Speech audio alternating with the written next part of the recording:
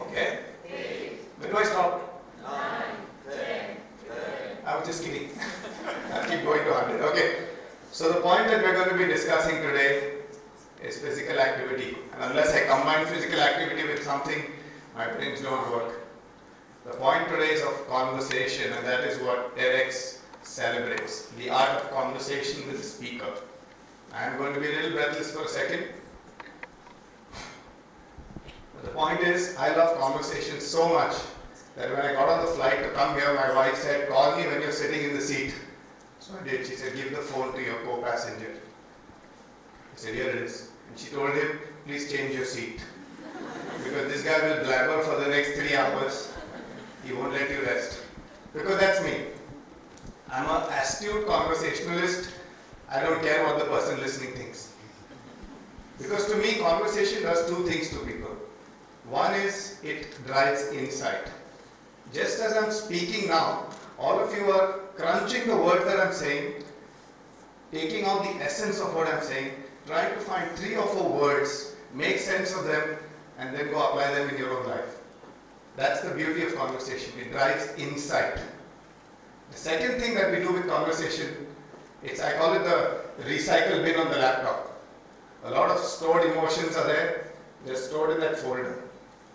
Slowly and steadily, you go find a friend, you talk about it, you press empty recycle bin. Those emotions are gone.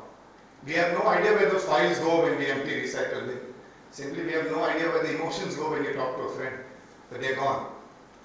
But there's a problem with conversations, and I've noticed that as I've got older, conversations have gotten harder.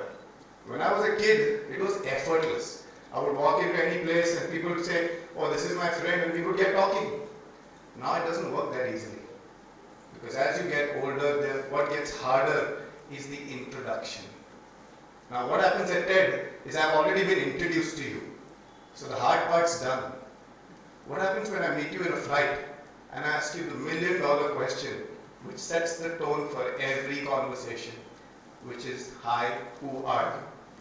And then if I really want to trouble you, I'll ask you, okay, so who really are you? And that's a nightmare question for 90% people because they have no idea who they really are. Like I told you, I'm a physical activity evangelist and I'm a conversationalist. The rest of it is all vanity and details and academia and what I do to make money. But at heart, I'm just these two things. I can't live without these two things. But I can't open any conversation with this. So when you ask me who am I, when I, when I was in my mid 20s, I was very confused. I had all the academic prowess, I had practice, money, family, all of it. But what I lacked was the million dollar answer to the question, who really am I? And luckily for me, I had a friend who came and patted me on the back one day and said, let's go for a run here. So I said, okay, nothing to lose. I went for a short run. I ran 1K, 2K. Soon I was running 5Ks, started running by myself. One I ran a half marathon. Soon I started catching flights to go run half marathons. My wife called up my uncle who's a psychiatrist and he said, this fellow is running away from home now. He's running away from his responsibilities also. So my uncle said, he's finding himself. Leave him alone. He's only running around circles around the ground. He'll come back. And it happened. Two, three years. I said, you know, I can't keep running. Even though I found a lot of things, but my learnings were threefold. The first thing that changed about me when I started running long distances was I started finishing projects I started. I'm a typical 80 percenter. I start stuff, very excited, learn how to do it, start doing it, reach the hard part, and then leave it. That's what all 80 percenters do. The few hundred percenters finish all of it. But I would quit at 80. But what happens in a run? When you've decided I'm going to run 10k today, you finish the 10k. You walk it, you run it, you crawl it, but you finish it. And that's what happened in my real life. I started finishing everything. Second best thing that started happening to me, I started saying no. When people would ask me, you want to come for a night party? I said, no, I got to run in the morning. and that no translated into a lot of other areas. But these were two simpler things at a personal level. What really changed for me was the fact that when I would enter a room now, people already knew who I was. They would go, oh, you're that runner guy. And this is pre-social media. So I'd gone through the grapevine. The family was talking about me in other families. It was not my profession anymore. It was not what I did for a living, what money I make. It was purely the fact that I was doing something on my own. I was a runner. And that gave me random starting points in conversations. It was fascinating. But being a true academic, I said, you know what, running can't be all. I need to be known for more than just my running. So I wanted to study this transformation in detail. So I went to Auckland because that's the country where people take all their hobbies very seriously. So I went there to study what exactly happens in the brain when you take on physical activity. And for more than just a hobby, when it becomes your identity, what does it do to you? The first thing I did was I went around Auckland and I asked people the same question that I used to ask in India. Who are you? And the funny part is, the who are you question has the same set of answer ratios all over the world. 70% of people will say their profession in the first five to seven minutes because that is what dominates our very existence. We will always say what we do in the first five, seven minutes. The next 20%, you push a little more, people will talk about family, and the last, people will talk about their hobbies. What bothered me, no one talked about their physical identity. These three identities are above the neck. They're very cerebral. You will make these transactions in life. You may get married, you may not, you will have a family, you will have a profession, you have a conscience, you will go do things in life. These are normal things to have. But who are you really when you take away all these three? I wouldn't say you're a. Everyone doesn't run marathons and Olympians. We're not Olympians, all of us. That's not the point. So the beauty of the athlete identity, it doesn't matter how good or bad you are. But in these three professions, there has to be a benchmark. So everyone, is he a good father? Is he a good doctor? Is he a good engineer? Is he a good teacher? So there's always a good bad. But in the athlete, there's no good bad. Because for a while I did try to become an Olympian. I realized very quickly I have the hard work, but I don't have the talent. And nobody should get confused. Talent plus hard work beats hard work in the Olympic domain. Okay, so there's no confusion there. But the second thing that I researched a lot when I was there was what actually changed in my brain. How did I go from this insecure, stammering guy to standing on a stage giving speeches? What changed in me is I got happy. These are the four hormones that change in the human body when you start doing physical activity. The first hormone is dopamine. Now the beauty of dopamine, it just comes with an idea. Now I might say something that clicks with you. For a split second, you will get like, wow, I think I can do that. And you start visualizing yourself in a goal that you're already in the dopamine state. The pleasure has already started.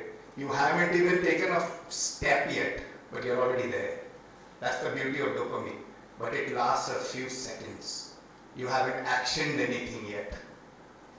Now, when you actually take the first step, buy those running shoes, get out on the ground and go and do 10 minutes of walk or run, you will start to sweat. That sweat brings the sweat bliss that we endurance athletes call it. You start climbing a little mountain, start sweating. Instantly your heart rate goes up, you start secreting endorphin. It's called the runner's high. It cannot be measured, it is insane. It's better than any steroid on the planet, any drug, nothing can compare to this. The point is, it also lasts a few hours. Then what? Then comes serotonin. Now, consistency is king in the, in the fitness world. When you do three to five to seven days of consistent exercise, you will reach the serotonin secretion, which is basically an antidepressant. Now you're consistently happy. You're making better decisions. Insults don't hurt anymore. That's the true beauty of serotonin. You're suddenly, you can handle the insults. You can handle someone being rough with you. But these three are still transactional. You do some exercise, you get happy. You don't do exercise, you're not happy. How do you get permanently happy? That's where oxytocin comes in. Oxytocin is the love hormone. When you start loving who you have become, you love that activity.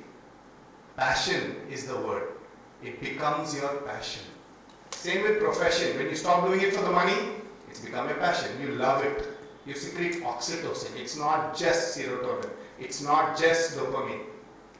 So the point is, we have to go beyond these baseline transactions into the realm of transformation. Like for me at my job, I'm called the CEO. I gave myself the designation. I'm the chief entertainment officer of my organization. Because I've made entertainment out of my work. For me, making a patient laugh is what we do, while nature cures the disease.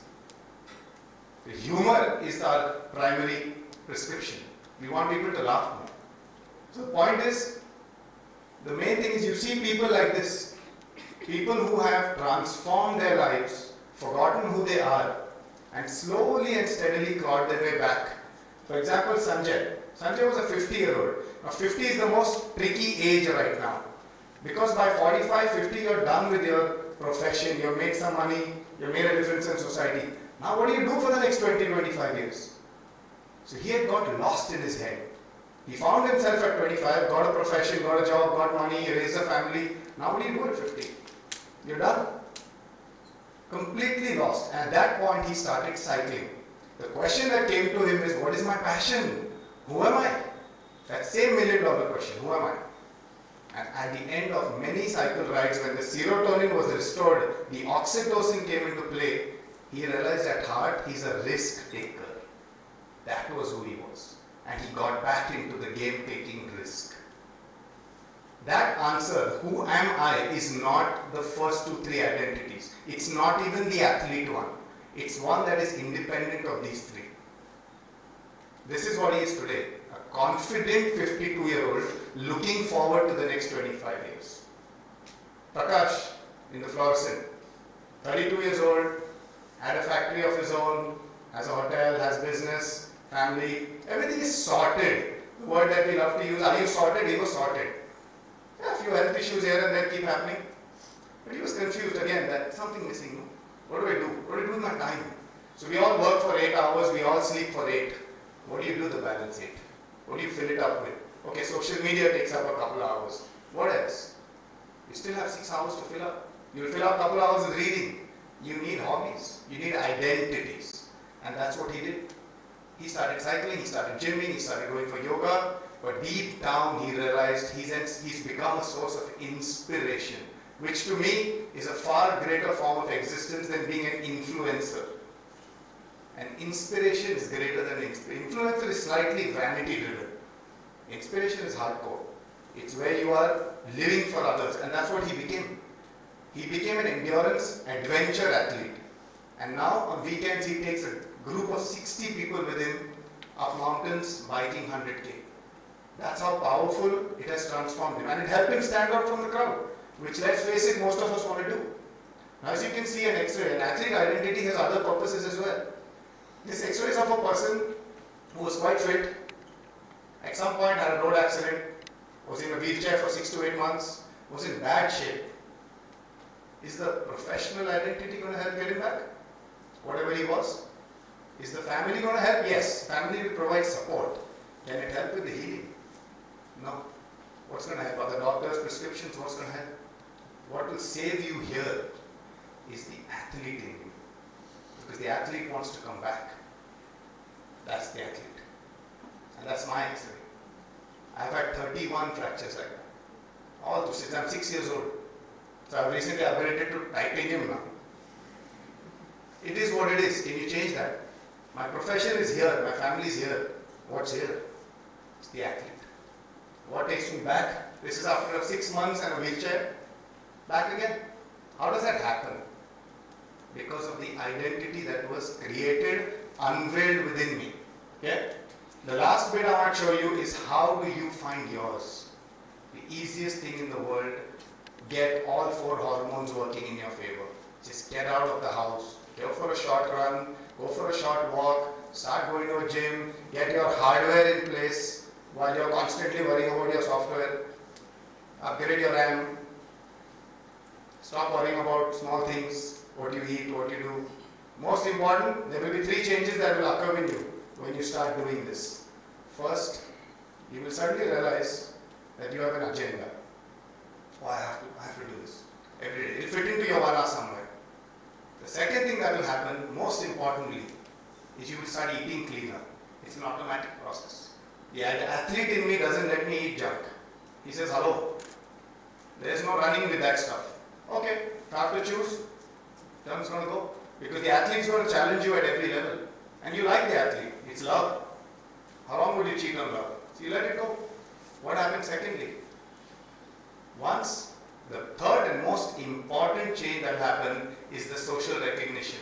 Again, when you step out of home, and thanks to social media now, everybody will already know who you are. So they will point blank tell you, oh, he's that guy. You, go for rowing, no? You basketball, you're a swimmer. And that small change which will come in you will drive the long-term difference. So ladies and gentlemen, my point to you is, next time someone walks up to you in a coffee shop and says, hi, who are you? Start with the athlete identity. Trust me, the conversation will be more interesting. Thank you very much.